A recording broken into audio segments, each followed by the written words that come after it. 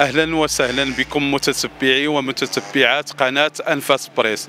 اليوم خرجنا باش نسولوا الساكنة ديال مكناس أشنو هي الرسالة اللي يقدروا يوصلوا المرحوم السلطان مولاي إسماعيل في حالة ما إلى صادفوه بالشارع حول الوضع وحول الواقع والحال ديال المدينة مقارنة مع مدن أخرى. مثلا اذا مشينا لطنجة مشينا لمراكش مشينا للدار البيضاء نجد بأن آه، المدن كاملة سائرة في طريق التنمية بينما الحال ديال مكناس لا زال على حاله. إلا بغيتوا تعرفوا الأجوبة ديال هذه الأسئلة هذه خليكم معنا.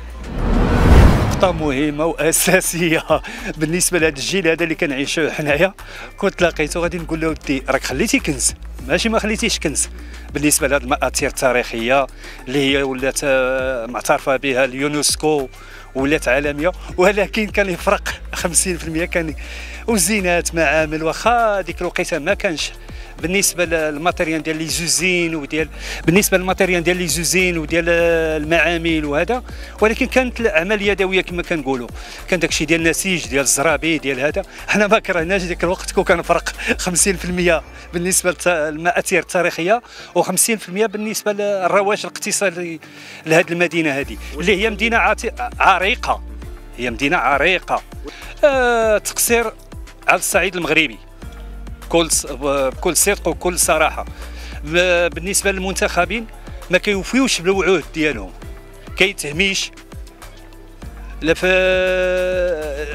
الملاعب الرياضية بالنسبة للشباب ولا الحدائق ولا يشوفوا الشباب شنو خاصهم المتطلبات ديالهم. آه، كاين تهميش شوية. بالنسبة للمنتخبين. الرساله نقولوا بأن هذه المدينة أخويا راه ما بقاتش في المستوى لأنها كانت تيقولوا لها لو بتي باري. دابا ولات قرية بهذا المفهوم ماشي مدينة. هاد في المسؤولين أخويا المسؤولين اللي ما دايرينش الخدمة ديالهم.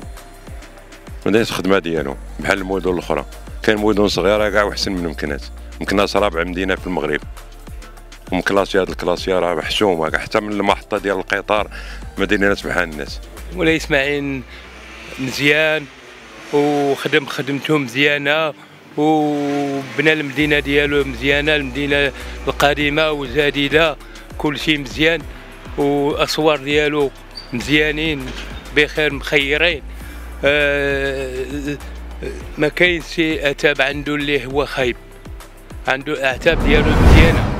كناس مزيان كناس مخير ومفجوي فيه الفجواب مفاجي وهادي تمشي واخا ما كاينش البحر عندنا مفاجي بنادم كيجي كاع من بلاصة أخرى من بعيدة وتيبقى يجلس هنا.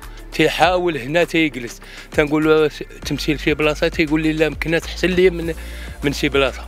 السلام عليكم. مرحبا بكم مدينة مكناس. مدينة الإسماعيلية معروفة من القرن السابع عشر اللي تبنات هذه المدينة العتيقة اللي دارها بالأسوار والقصور. بأنك تشوفوا بأن مدينة مكناس فيها معالم تاريخية مزيانين مفيدين بزاف الناس اللي يمكن لهم يجيو يشوفوهم. يعني كمربط الخير كالساني الصواني كالضريح كدوك الساعات نتاع الويس الرابع عشر اللي كيتوجدوا في الضريح وإنما هذه المدينة كتميز بزاف بالنسبة للسياحة الداخلية اللي كتجي كتشوف واحد المعلمة اللي يعني ما كايناش يعني في الصعيد يعني العالمي ولا في الإفريقي ولا كيتوجد واحد السجن اللي كيعيطوا له سجن القارة. اللي ما لقاولوش لحد حاليا ولكن دابا هذا السجن هذا يعني راه مفتوح لأي زائر سواء مغربي ولا هادي وفي هذا السجن هاد الناس راه ما تيقلبوش على أي حاجة في مكناس تيقلبوا ديما على السجن. وهذا السيزون مهم باش يجيو يشوفوا راه قاس الناس صيفطوا في الواتساب وفي التليفونات وكذا وكذا تيقولوا بأن كانت فيه المغارات وكذا وكذا وكذا وفعلا هذا السيزون هذا مبني تحت الأرض ولأي زائر بغى يجي يشوفو مرحبا بمدينه مكناس. وهذا السيزون هذا راه ما لقيتوش تبعيد راه في وسط المدينة. إلا جيتو أكبر باب في المغرب وأكبر باب في باب منصور العلج اللي كتوجد فور المدينة راه كدور يمور لباب منصور كتزيد واحد خمسة دقائق ولا أربعة دقائق تلقى هاد السيزون تلقى واحد السي تلقى أي واحد حارس السيارة تمر هاد الباب. تقول له حبس قرة يقول لك هو يدور على اليمين. نقول له أن هاد الأسوار زعما يعاودوا يتبناو والأرض تجدد. وشي حدائق بحال هكا يعاودوا الإصلاح ديالهم باش الناس يبقاو يجلسوا فيهم. أنا نقدر نقول له أن هاد الإسماع- الإسماعيلية كاملة تهدمات خصهم يعاودوا الإصلاح ديالها. والجرادي راهم مرونين خصهم يجيبوا لهم دوك الجارداني باش يقادوهم. و والارض الأزبال اللي كيترموا في الأرض ما خصهمش يبقاو يترموا واخويا اش غنقول لك؟ رسالتي لمولاي اسماعيل غادي نقول له باللي راه خليتي لنا واحد الكنز كبير ولكن المسؤولين راه ما عرفوش يتصرفوا في هذا الشيء. هاد المدينة مسكينة غدا وكت كترجع اللور مسكينة ما نكذبش عليك غدا وكترجع اللور الله ياخذ الحق.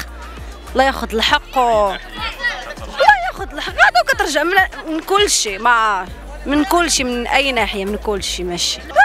ضروري الترميم. لحقاش راه عندنا بزاف ديال البلايص زوينين وبزاف ديال المآثر تاريخية. ولكن هاد المسؤولين ما خلاوش فهمتي؟ ما خلاوناش. ما كاين لا اهتمام لا والو. آه، قلت لك الله ياخذ الحق وصافي.